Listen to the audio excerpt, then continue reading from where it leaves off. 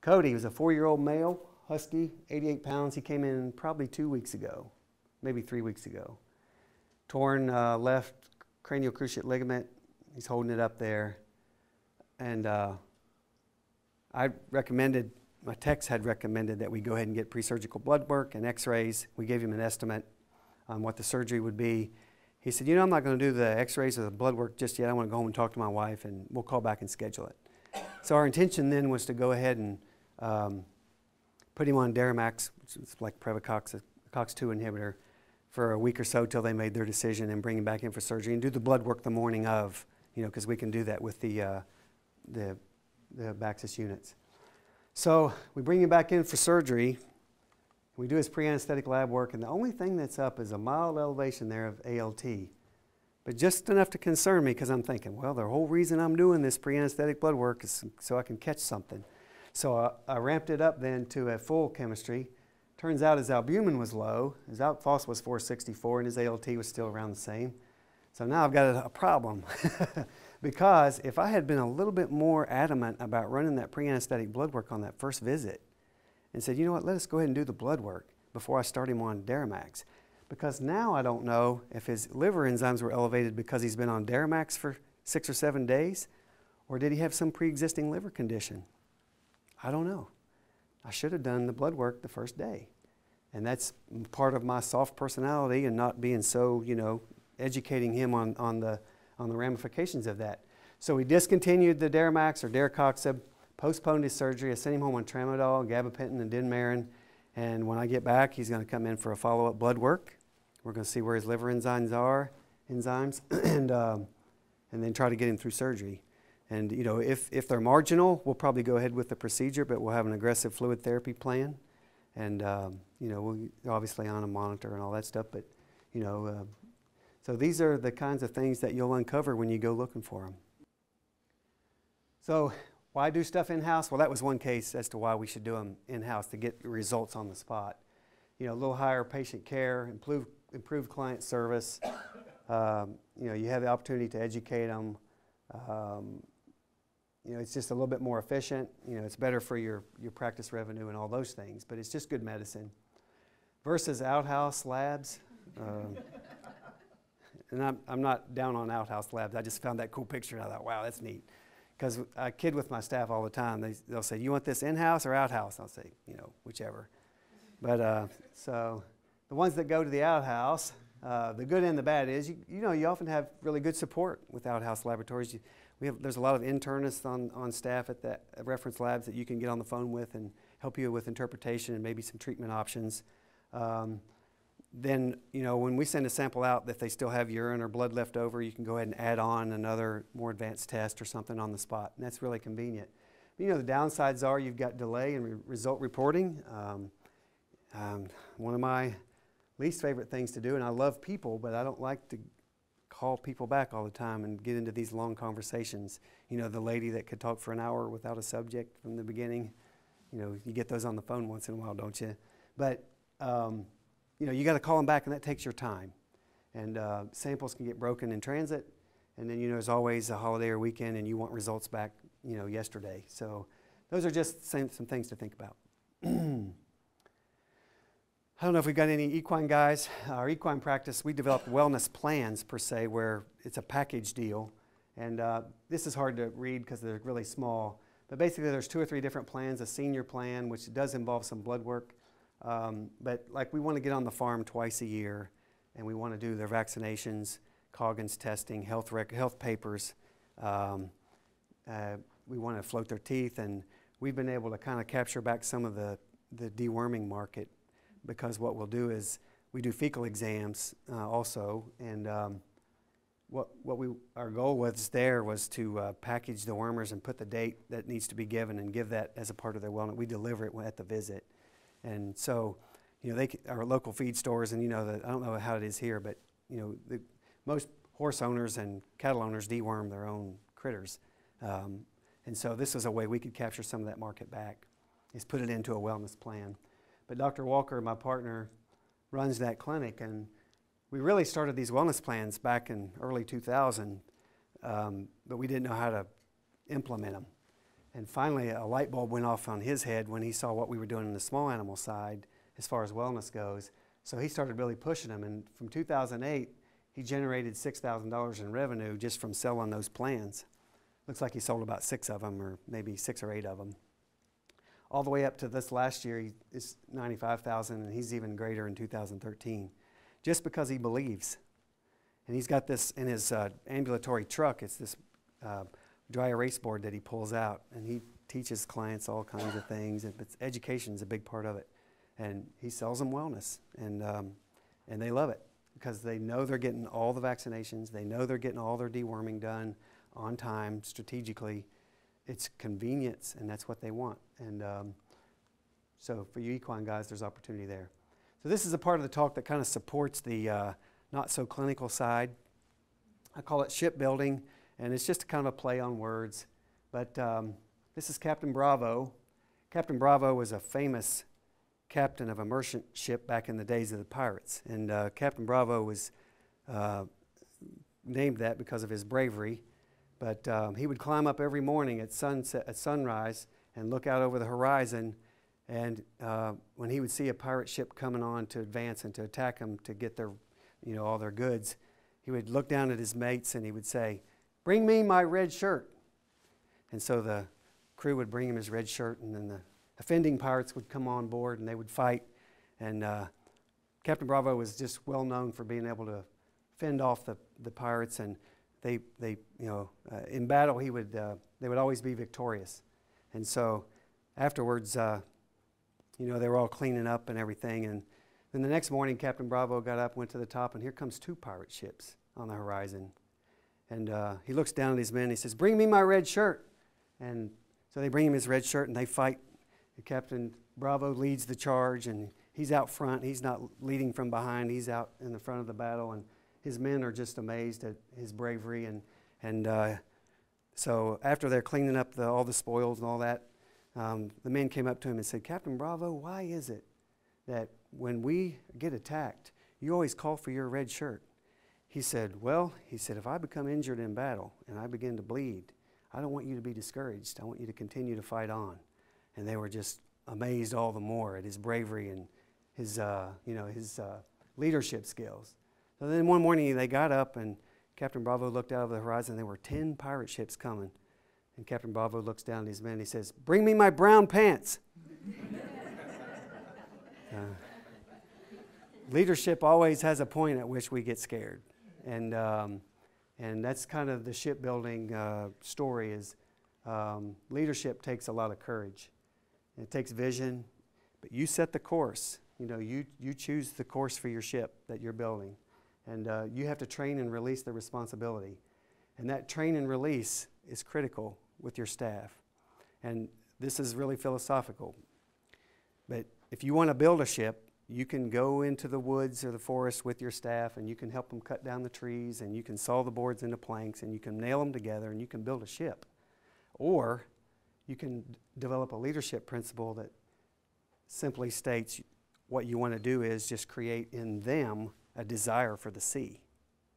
And what I mean by that is an 80 20 leadership principle that means let them do 80% of the development of your wellness plan. Because if they aren't, don't have ownership in that, it's going to be a lot tougher to implement it. You tweak the final 20% to what you want, but that 80 20 rule is, is, is, is the way to really implement a, a wellness plan or any kind of plan or practice policy or whatever you're going to do in building your ship. Ownership, that's where the staff buys into what you're doing. It's really just what I just told you. And then repeat, repeat, repeat. Fellowship is nothing more than two fellows in the same ship.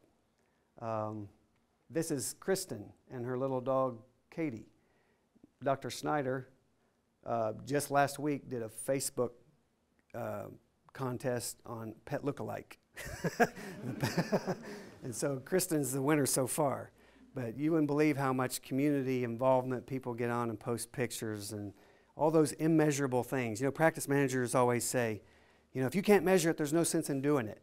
And I disagree. I think there's a lot of things you do to bond people to your practice and develop that familial uh, atmosphere, the common ground, Um, the, you know, those lots of immeasurable benefits, and we use social media and um, to do that. And I'll share one more quick story with you. I had a Boston Terrier that came from across the river from another veterinarian that was uh, intervertebral disc disease, I assume.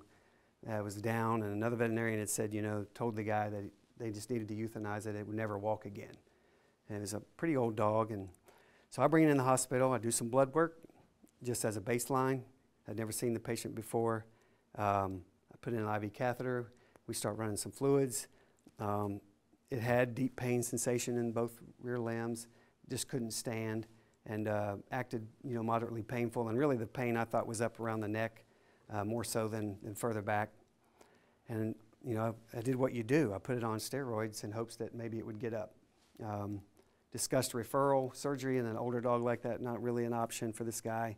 But he's in Minnesota, which is 14 hours driving from my hospital. His daughter is back home bringing me the dog, and so I'm communicating back and forth. Well, don't you know it? The dog gets up on steroids and fluids and um, is doing really well. So I take out my iPhone, I click a little picture of that dog standing there all happy, and, and I text it to him in Minnesota. I'm his hero, you know, uh, those kinds of things, that immediate gratification, and that, you know, we take photos now of patients right after surgery as long as they don't have blood hanging out of their mouth or whatever, you know. you don't let your techs or nurses send pictures that look bad. But the value that people perceive by a little bit of communication tool that takes seconds, take a picture, text it to them. So we try to get their phone numbers, email addresses, and whatever, and, and they're waiting at home anxious for results. You know what I mean? So this wellness approach is being able to communicate what wellness is. And so we've, we, we still try really hard to, to work those bonds and, and use technology to do it. then relationship is the most powerful ship. Um, this is where you start to gain influence and high trust, and then it doesn't matter what you recommend, clients will comply. When you have these kind of strong bonds to your practice, um, it's hard to drive them away. You know as well as I do that you can euthanize a dog and do it properly and be their hero. Those of you who have been in practice. Euthanasia is another area to bond people to your practice. When you show them the compassion, we send sympathy cards, and everybody in my hospital signs that card for every dog that dies and cats in my practice. They get a sympathy card. It takes a little bit of money, takes a little bit of time. That I get so many compliments at the grocery store, out in the community that card you sent was so nice, you know. But all my nurses and, and receptionists and the doctors all sign every card. It just takes a few seconds to jot down a little note. You know, I'm sorry for your loss of Missy, and you know, you had a great friend, and blah blah blah. But those are just little things that we do. But anyway, the relationship building, it's a long-term results uh, benefits from that. This little blind dog is diabetic, and um, I, we weren't involved in the case early on when his eyes were enucleated, but uh, his mommy brings him in for his blood glucose curve, and that little turtle is a backpack, and it has his insulin and his special food. And his mom says, Well, he doesn't have any, so he's got a little buddy that's got great big ones. so these are the kind of things that, uh, you know, this is why we, we're engaged in practice. These are the five R's, and on my outline, the teaser was you have to be here to know what these are. And these aren't rocket science. And uh, it's funny when I was developing this talk, I have like 40 R's words that keep coming up that involve veterinary practice. And I'm going to develop another talk called The R's Have It. But uh, that's what I'm going to do next year when you guys invite me back, probably. But, um, and I'm taking two weeks, and we're going to travel the country, just so you know. But um, the five R's really help build these relationships, and they help drive compliance, and they help drive revenue into your practice. And you're doing a lot of them already. But I just want you these to be confirmation of what you're doing, and maybe there'll be one tip in here that'll change your life. Your recommendations. You need to walk worthy of the vocation and the profession that you're trained to do, and walk in the authority of that profession. You need to realize your value to the client. And when you make recommendations, you got to make them with conviction. It's one thing to say, you know, we recommend that Bozo gets his teeth clean. Or you say, wow, um, I'm just looking at Bozo's gums, they're really inflamed. And you know that bacteria can get into the bloodstream really easy and can cause some heart valve issues and liver and kidney disease. And in small breeds of dogs, it's you know can shorten their life by a couple years. Bozo really needs to have his teeth cleaned. So if Dr. A did the little speech in the beginning versus Dr. B that just gave you that one, which one are you more likely going to answer yes to? You need to make recommendations with conviction. You need to believe it. And then, you know, you, you almost feel like you're acting. But, but if you believe it, it's not acting. You're just, you're, you're conveying the importance of that dental. Okay? You got to believe it. Your staff has to believe it and, and not to bring uh, Christianity or scripture or whatever, but there's a scripture that says that one man plants, one waters, and God brings the increase. And that just came to my mind because I got to thinking about our model. Our receptionist plants the seed, our nurse waters the seed. By the time the doctor comes in, it's an easy conversion, right? It's, it's easy to sell it. Um, so that three tiered approach is really a big part of what makes wellness work. Walk in the authority of your title. They came to you for advice. You didn't go out and drag them into your clinic. They're looking for wellness. Don't prejudge a client's ability or desire to pay for recommended services. This is a walk in closet for two little girls.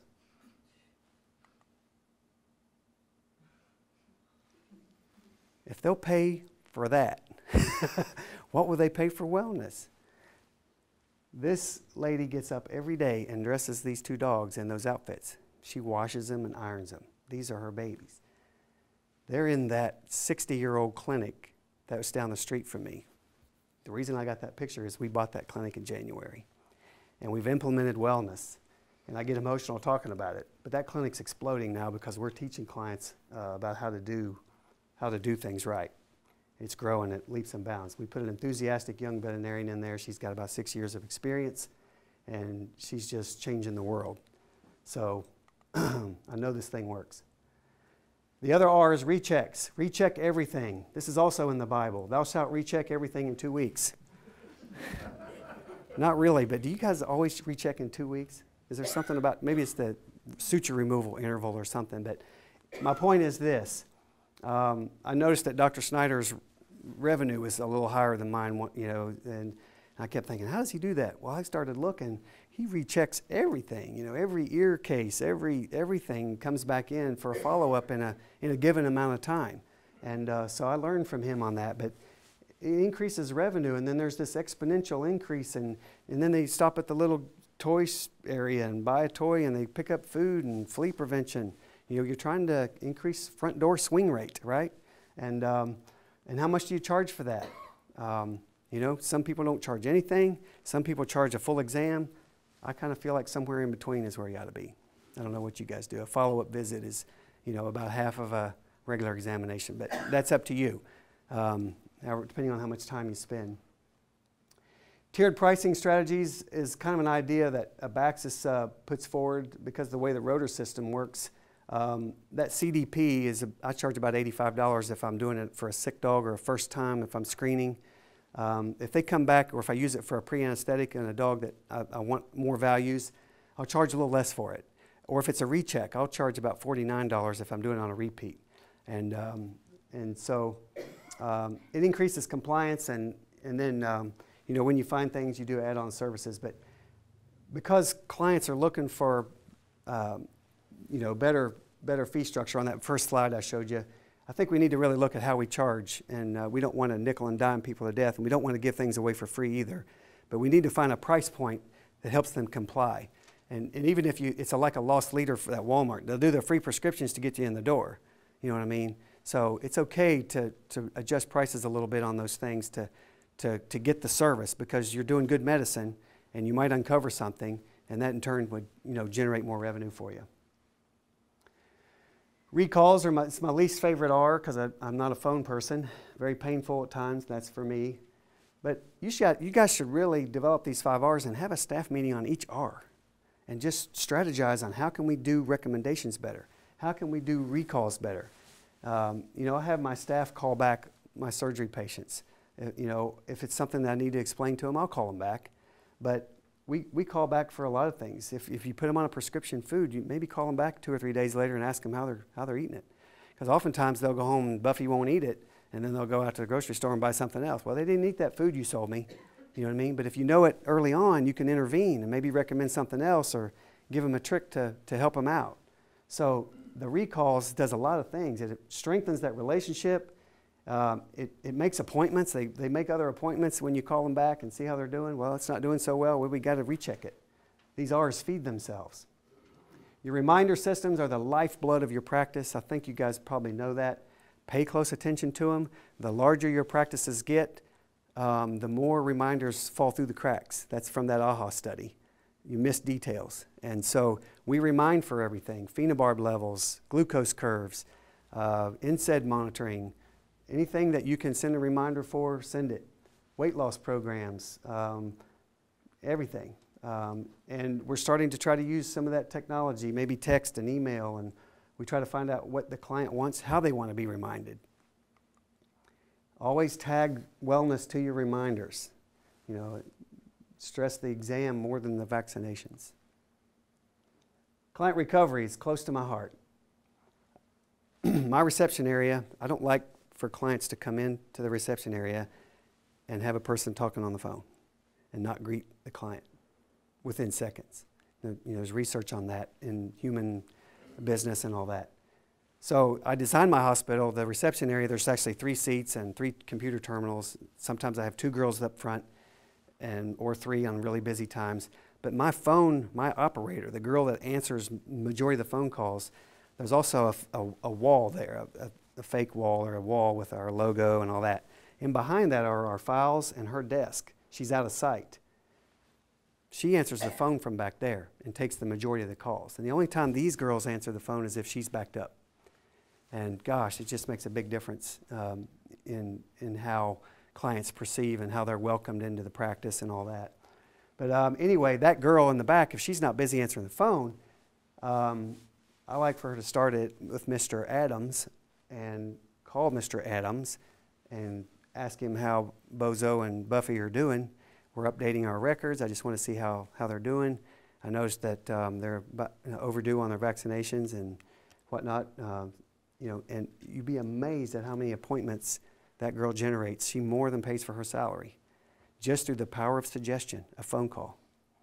So if you're slow, if your practice isn't at capacity, you could hire someone to just do that. And when they get to Z, they go back to A and do it again.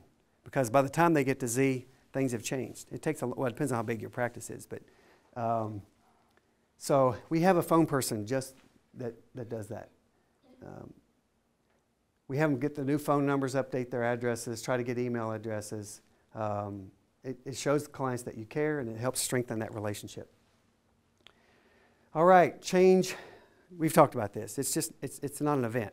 You're not going to go right back to your practices and just implement wellness and, and just have it but I, I, promise you, you can have results and see revenue differences within a few months.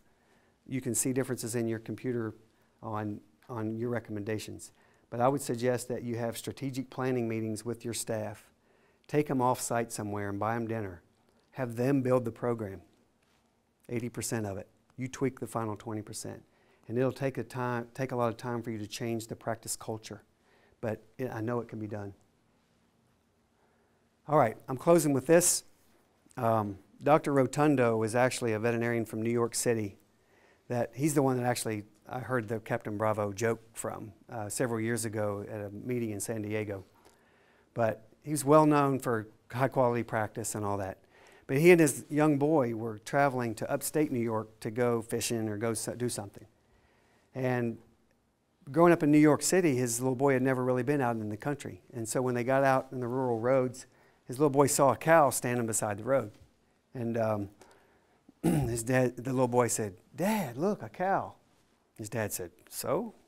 And it dawned on Dr. Rotundo that his little boy had never seen a cow. And it was a wow thing to his kid. And then they drove on a little further, and, and uh, there was a whole herd of cows over in the pasture.